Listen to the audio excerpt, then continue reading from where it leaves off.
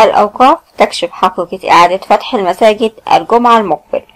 تداول نشطاء مواقع التواصل الاجتماعي أنباء عن نية وزارة الأوقاف فتح أبواب المساجد من الجمعة المقبل عبر صفحات مختلفة غير رسمية.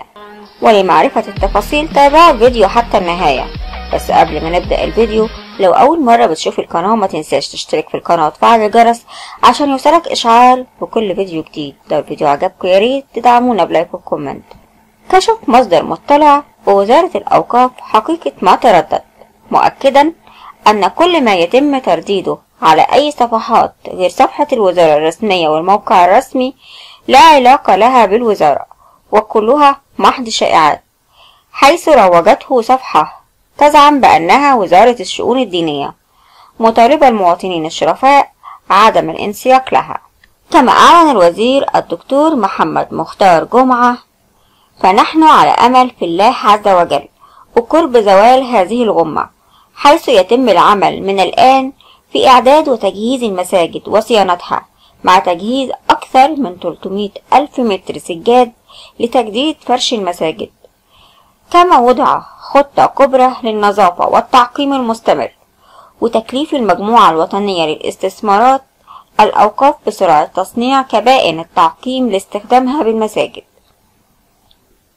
وأكد أن الوزير شدد على أن ما طبقته وزارة الأوقاف هو عين ما يطبق في الدول العربية والإسلامية حفاظا على النفس البشرية في ضوء ما قررته وزارات الصحة في جميع الدول من ضرورة تعليق التجمعات منعا لانتشار عدوى فيروس.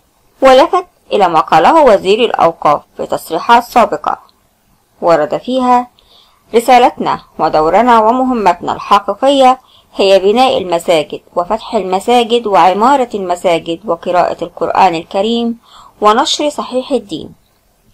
وأوضح أن الوزارة لم تصدر أي قرار يتعلق بإعادة صلاة الجمعة والجماعات مرة أخرى بعد تعطيلها بالمساجد مؤقتا ضمن الإجراءات الاحترازية لمواجهة انتشار فيروس كورونا المستجد وأن المسألة مرتبطة بما تقرره وزارة الصحة ومدى التحسن في معدل تسجيل الحالات الإيجابية التي تسجلها الدولة.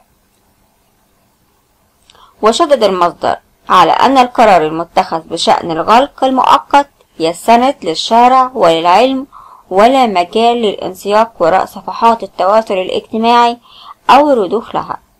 وكانت وزارة الأوقاف قد أعلنت تفويض المديريات بإصدار الموافقة الخاصة بإذاعة قرآن الفجر والمغرب للأئمة المعنيين والذين يتحملون تنفيذ الاشتراطات والضوابط التي أعلنت عنها الوزارة أمس. وجاء ذلك على خلفية السماح بإذاعة القرآن الكريم قبل صلاتي المغرب والفجر وفقا لثلاث ضوابط وهي أولا أن يكون للمسجد إمام معين ويكون مسؤولا عن تشغيل القرآن الكريم بمعرفته مع غلق المسجد غلقا تاما وعدم السماح لأحد بدخول المسجد نهائيا وقت قراءة القرآن أو قبله أو بعده طوال مدة تعليق الجمعة والجماعات بالمساجد مع تحمله لأي مخالفة تنتج عن ذلك. ثانيا أن تكون صوتيات المسجد مهيئة لذلك. وأن يلتزم بما تبثه إذاعة القرآن الكريم من قرآن المغرب وقرآن الفجر دون أي زيادة. ثالثا أن يحصل على موافقة كتابية من مدير المديرية معتمدة من رئيس القطاع الديني بالموافقة مع تاريخ الاعتماد حتى نهاية شهر رمضان قبل قيامه بأي إجراء حتى يتمكن التفتيش العام والمحلي من المتابعة والتأكد من اقتصار الأمر على قراءة القرآن وعدم فتح المسجد للصلاة.